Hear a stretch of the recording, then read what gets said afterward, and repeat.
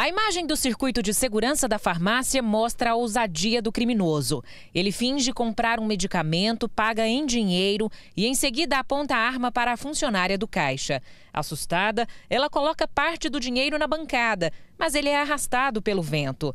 Em poucos segundos, entrega tudo o que sobrou para o bandido.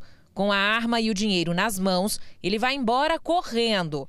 A funcionária diz que não esquece o momento de terror que passou. A gente fica nervosa demais. Qualquer pessoa que entra na loja, a gente já fica achando que é assalto de novo.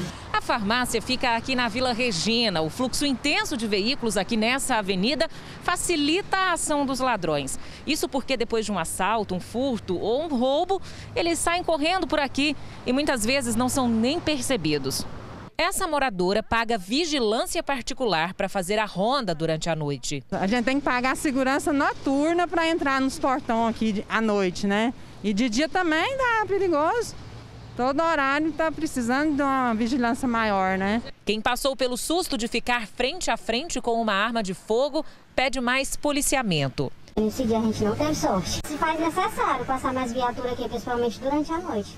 Os moradores do bairro acreditam que se as viaturas passassem com mais frequência pela Avenida Inhumas, que dá acesso à GO 060, casos como esse seriam cada vez menores. A gente quer que a polícia fique mais, né, ajudando a gente, mais parar um pouco à noite aqui, depois das sete horas, assim, ficar mais parado, passar mais. A gente agradece.